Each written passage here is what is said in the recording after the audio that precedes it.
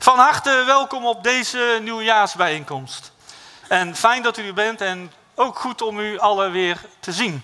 Volgens mij is de opkomst weer meer als vorig jaar. Hartstikke goed. Het nieuwe jaar is amper een week oud en toch lijkt het alweer alsof het oude jaar ver achter ons ligt. Anderzijds kunnen we ons bijvoorbeeld ook de wisseling van het vorige naar het huidige millennium nog goed herinneren. Nu alweer bijna twintig jaar geleden. De millenniumbug, weet u het nog? Ik wil maar zeggen dat de tijd ongrijpbaar is en blijft. Soms weet je precies waar je was op het moment dat zich een groot drama afspeelde. Zoals dat vreselijke ongeluk op die spoorwegovergang in Os. Dichter bij huis zijn ons het afgelopen jaar helaas ook weer meerdere dierbaren ontvallen. In het bijzonder denk ik hierbij aan Ellie Lambers. Hoezeer zij geliefd en gewaardeerd werd in alles wat zij voor de gemeenschap heeft gedaan en betekend, bleek wel bij haar drukbezochte uitvaart, die echter veel en veel te vroeg kwam. Als sterren aan de hemel. Zo zien we degenen die ons ontvallen zijn. Falling Stars was dan ook de toepasselijk gekozen naam van het unieke evenement waarbij de nagedachtenis aan onze dierbare overledenen werd gecombineerd met een spectaculaire afdaling vanaf de Gemariskerk. Falling Stars leverde bovendien 10.000 euro op voor de goede doelen van de Europa Run. De herinneringen aan dierbaren vervaagt nooit. Zo bleek ook bij de herdenking van 65 jaar watersnoodramp een nieuw Vossemeer.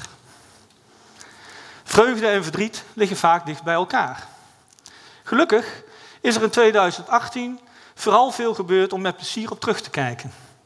Wat te denken van het carnavalsfeest, dat in alle kernen elk jaar weer voor zoveel verbroedering en gezelligheid zorgt. Reden genoeg om onze grote waardering uit te spreken aan de organisaties en hun vrijwilligers. We hebben tijdens de Burryborrel zowel de Stichting Carnaval de Heen, Stichting Carnaval Steenbergen, Stichting Kruislandse Carnaval en het carnavalsvereniging Het Vossenol geëerd met de heraut.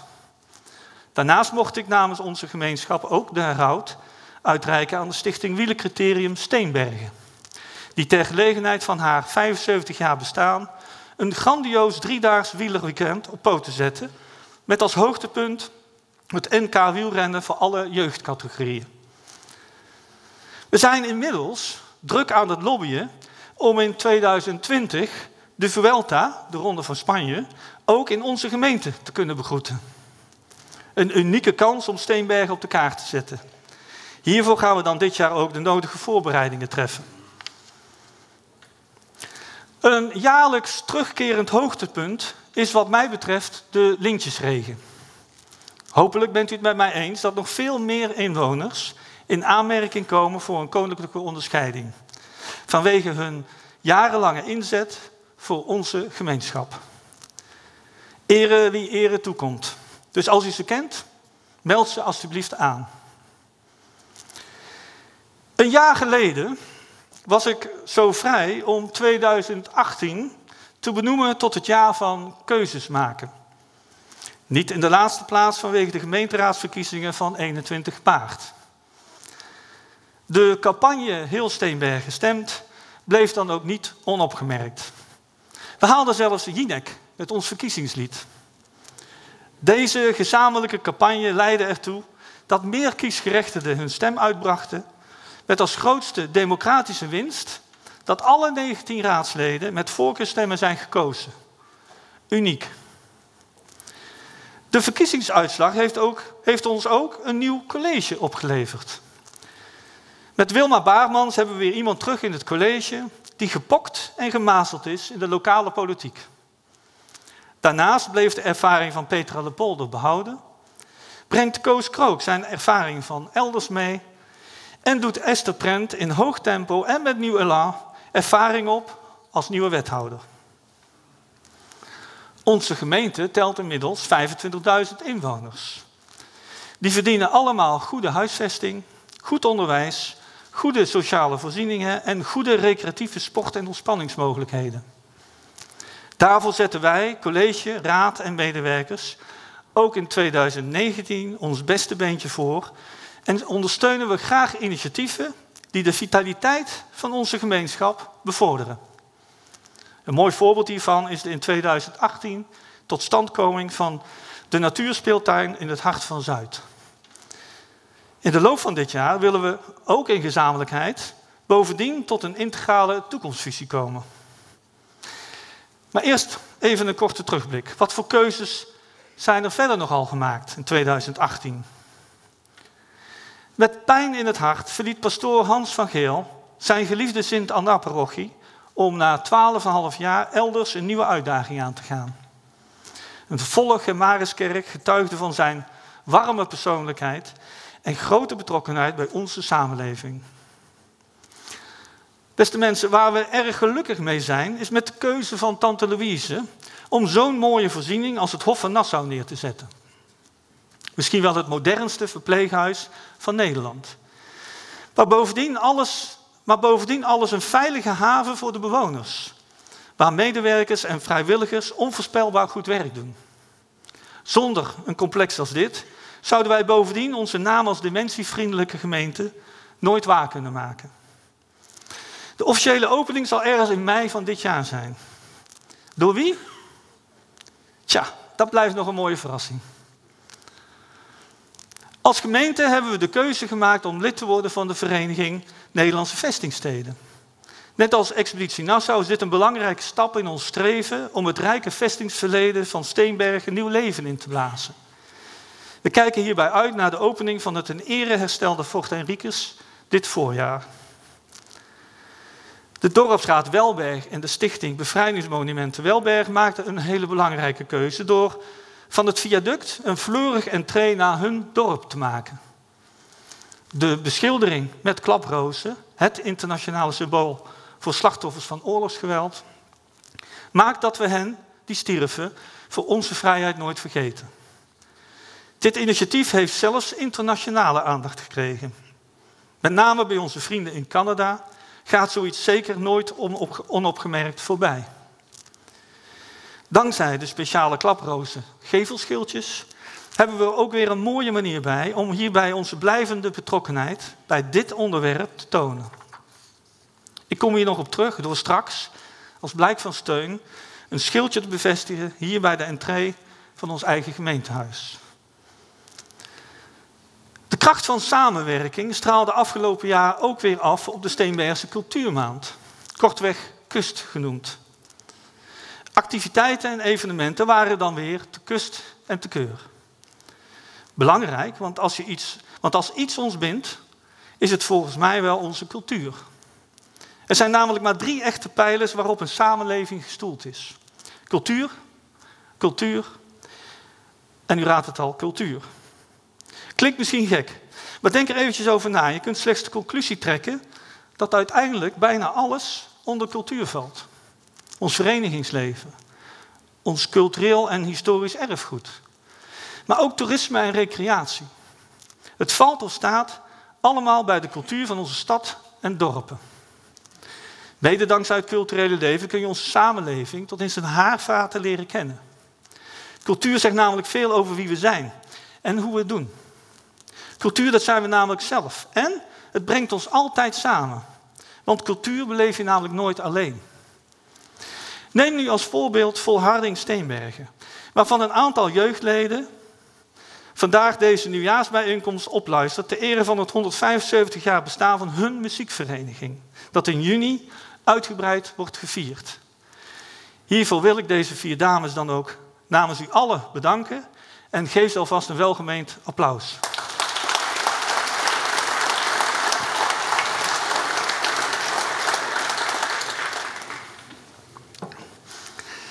Beste mensen, het woord samen is vaak gevallen. En dat is niet toevallig. Aan 2019 wil ik namelijk het thema samen meegeven. Een voorschot hierop is inmiddels gegeven met de titel Gewoon samen doen. Het programma waaraan de gemeenteraad en college tot en met 2022 uitvoering zullen geven. Maar gewoon samen doen strekt natuurlijk veel verder dan de raadzaal en het gemeentehuis. Wij kunnen eigenlijk pas iets doen als we weten wat onze inwoners willen. We moeten dus nog meer met elkaar in contact komen. Want alleen kunnen we niets. U niet, ik niet. Het college niet, de raad niet. Vrijwilligers niet, ondernemers niet. Alleen sta je als een haan in de sneeuw. We moeten het echt samen doen. De raad heeft inmiddels het voortouw genomen om voortaan, voorafgaand aan de raadsvergadering, letterlijk en figuurlijk samen aan tafel te gaan zitten met een aantal inwoners. Als gast van de raad. Ook zijn we het afgelopen jaar gestart met het online participatieplatform Ik Praat Mee. Via Ik Praat Mee kunt u vragen beantwoorden en uw mening geven over uiteenlopende onderwerpen die ons samen aangaan. Zelf probeer ik zoveel mogelijk naar buiten te gaan en aanwezig te zijn. Om samen met onze inwoners te beleven wat hier in onze gemeente allemaal gebeurt. En te horen wat er zoal speelt. Hiervoor voel ik al helemaal niet de behoefte om als uw burgemeester in een televisieprogramma undercover te moeten gaan. Ik ben liever gewoon zichtbaar en oprecht mezelf. Ja, daar zult u dan maar mee moeten doen. Laten we samen in deze digitale tijd juist proberen om fysiek zichtbaar te blijven. En elkaar persoonlijk aan te blijven spreken. Ik begrijp natuurlijk het gemak van appen, e-mailen, Facebooken, Instagrammen, Snapchatten en noem het allemaal maar op. Maar daar komen helaas toch ook vaak grote misverstanden van. En problemen uit voort. Omdat wat de een schrijft door de andere soms finaal anders wordt geïnterpreteerd. Want zijn vrienden op social media nou daadwerkelijk wat waard als je elkaar met een druk op de knop kan ontvrienden? Is het niet een beetje link, beste mensen, wanneer een duimpje omhoog of een duimpje omlaag onze gemoedstoestand dreigt te bepalen? Elkaar feliciteren of sterkte wensen met een emoji. Leuk en aardig, maar zo verschrikkelijk vluchtig en oppervlakkig.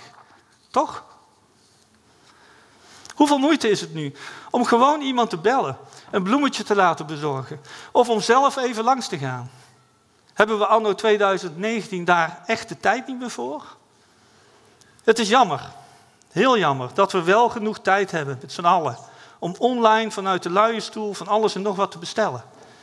Terwijl de winkelier om de hoek hetzelfde verkoopt en het hoofd amper boven water weet te houden. Van dezezelfde winkelier wordt echter wel verwacht dat hij of zij allerlei clubs, evenementen en activiteiten sponsort. Onder de noemer Ons Steenbergen hebben de winkeliers en Steenbergen hun samenwerking juist weten te verstevigen. En stralen zij meer dan ooit gezamenlijkheid uit. In Nutteroord is de sterke onderlinge band van de winkeliers ook verder aangehaald. Met de lancering van Hart van Dinteloord. Ook dat doen zij samen, vanuit hun hart voor Dinteloord. Een goede zaak. Samen gaan we dit jaar de 50ste editie van de Kleine Tour beleven. De Kleine Tour is een evenement dat werkelijk alles in zich heeft als het gaat om samenwerken. Samen genieten. Samen de schouders eronder zetten. Ga zo door. Ik zal er in ieder geval weer bij zijn. Ik hoop misschien u ook. Samen staan we sterk. Ook op de Brabantse Wal. De samenwerking met onze collega's van Woensrecht en Bergen is inmiddels verder vormgegeven op diverse onderwerpen. Zoals de voorbereiding van de viering 75 jaar bevrijding Brabantse Wal. Dit najaar herdenken we samen met de kernen van onze gemeente 75 jaar geleden dat we zijn bevrijd. Ik ben dan ook blij dat er een speciale werkgroep, waaronder bijvoorbeeld de Stichting Bevrijdingsmonumenten Welberg en de recent nieuw opgerichte Stichting Veteranen Steenberg, ook wel VEST genaamd, al volop bezig is met de voorbereiding van deze bijzondere herdenking in november. Waarna in mei 2020 ruimschoots aandacht zal zijn voor 75 jaar vrijheid. Hoe belangrijk dit is, beste mensen, blijkt wel uit het feit dat we vandaag de dag steeds vaker een tendens tot polariseren zien. Met helaas de neiging elkaar soms letterlijk de zwarte piet toe te spelen. Laten we nou in plaats daarvan ons concentreren op alles wat ons bindt. op het bevorderen van onze samenwerking. Door niet alleen met onszelf bezig te zijn, maar er vooral voor, ook voor elkaar te zijn. Dat dit in onze gemeenschap mogelijk is, blijkt wel uit de eerste lichtjestocht die afgelopen kerstavond in Steenbergen duizenden mensen samenbracht. Mijn wens voor 2019 is dan ook omarm en koester de overeenkomsten. Luister naar elkaar. Laat die verschillen wat vaker los. Want het klinkt simpel. Maar om in 2019 samen te werken, moeten we elkaar actief blijven opzoeken, naar elkaar blijven omkijken, elkaar in de ogen kijken, met elkaar afspraken maken en deze nakomen. Namens het college van burgemeesters en wethouders, de gemeenteraad, onze medewerkers en niet te vergeten mijn vrouw Angela en mijn zoon Rick wens ik u van harte een heel gelukkig en gezond nieuwe jaar.